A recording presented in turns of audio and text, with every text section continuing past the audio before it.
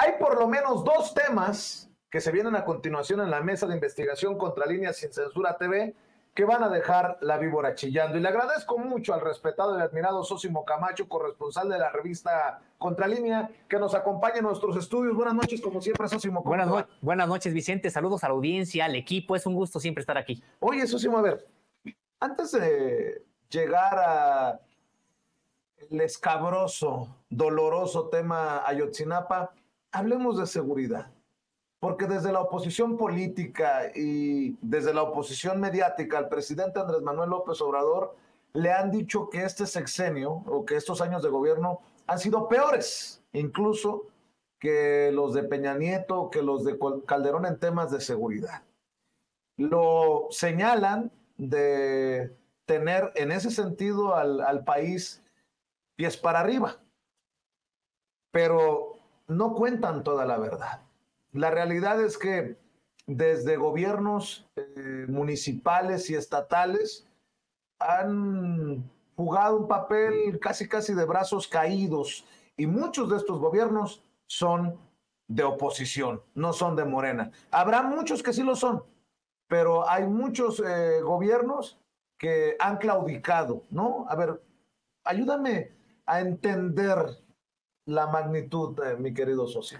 Así es, Vicente, pues sí, es algo muy complicado porque cuando hablamos de seguridad pública, de homicidios dolosos, generalmente, bueno, pues se le achaca al gobierno federal en turno lo que está ocurriendo en esta materia, pero en realidad son delitos en su mayoría del fuero común.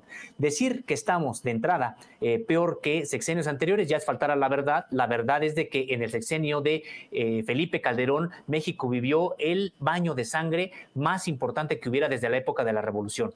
Eso está realmente ya acreditado. Hay que recordar aquellos videos que se transmitían por YouTube con cuerpos desmembrados, con ejecuciones ahí en vivo en YouTube o incluso también el desmembramiento de cuerpos, cosas tan atroces como esas, pero eso era la, la tónica en el gobierno de Felipe Calderón. Los problemas sí hay, sí siguen, por supuesto que los problemas no son de ese tipo. Eh, antes había, hay que recordarlo, Vicente, un pacto de los medios de comunicación. Hubo dos pactos en el sexenio de eh, Felipe Calderón para no informar lo que realmente estaba ocurriendo en materia de seguridad pública.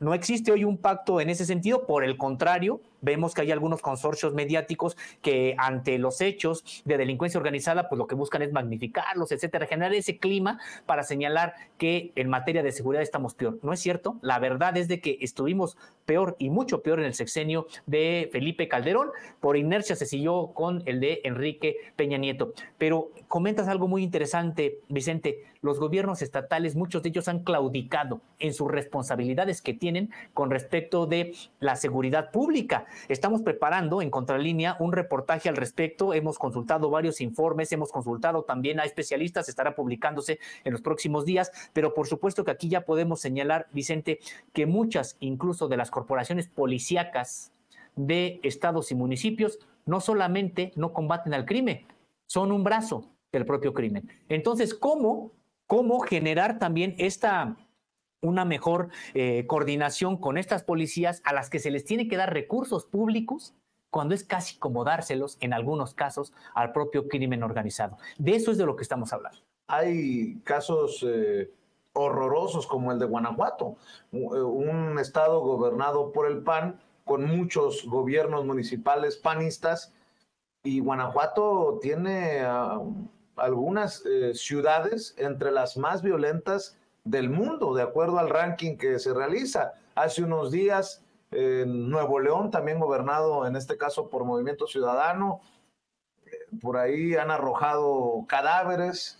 Eh, el caso de Cabeza de Vaca cuando gobernaba Tamaulipas, muchos dirán gobernaba en tiempo pasado, pues es el mismo es, la misma narrativa que usan desde el PAN, PRI, PRD para atacar al presidente, que lo del pasado ya hace mucho que ocurrió y pues no, es, eh, eh, creo que en un análisis serio se tiene que entender lo que ha ocurrido para ver lo que está ocurriendo y seguramente ver hacia el futuro.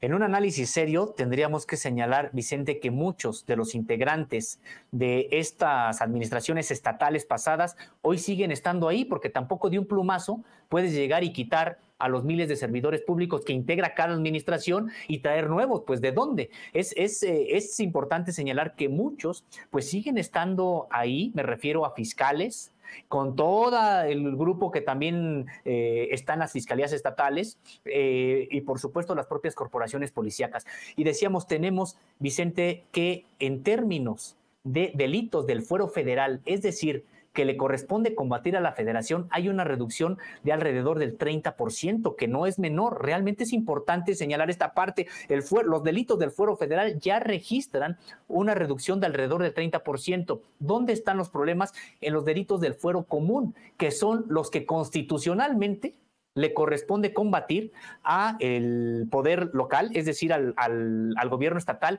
y también al gobierno municipal. Ahí es donde está concentrado pues el número de homicidios de carácter doloso, etcétera, y que incluso también ya ha registrado una disminución todavía marginal, por supuesto que se aspira a tener ya un país en, paz, etcétera, hay una disminución marginal, pero ojo, también esto ha sido no gracias a la propia política que pudieran desarrollar los gobiernos estatales y municipales, sino que al propio gobierno federal se ha hecho cargo de la seguridad pública eh, porque los gobiernos estatales, muchos de ellos tienen una política, como bien decías, de brazos caídos. ¿Qué es lo que ha estado ocurriendo? Que la propia Guardia Nacional, que debería de encargarse de los temas del Foro Federal, delincuencia organizada, etcétera, todos aquellos que incluso eh, se les conoce como de alto impacto también en ese sentido, pues tienen que encargarse de prácticamente la seguridad pública en lugares donde la policía decíamos municipal o no existe, hay 650 municipios donde la policía municipal no existe, y o donde también la propia policía existiendo está aliada al crimen organizado. Mencionabas el caso de Guanajuato, muy claro, de regiones de Guanajuato, está también el caso de, el caso de manera pues lamentable de, de Veracruz, con una lucha al interior de la propia administración entrante y que todavía tiene que lidiar con resquicios eh, muy enquistados, muy bien enquistados de las administraciones anteriores. Están los casos también de eh, la montaña de Guerrero, impresionante también lo que ocurre ahí en la montaña de Guerrero, con gobiernos además, y hay que señalarlo también del propio pripanismo en algunas zonas municipales ahí de la montaña de Guerrero. Está el caso también de eh, Chiapas, ahora que hemos estado viendo en esta sección de la frontera con Guatemala. Entonces, hay precisamente esos lugares identificados donde qué hacer, seguirles dando dinero a esas, a esas corporaciones policíacas, porque ojo, también es dinero federal. Cada año el gobierno federal destina alrededor de 9 mil millones de pesos a las corporaciones policíacas estatales vía un fondo de aportaciones para seguridad pública.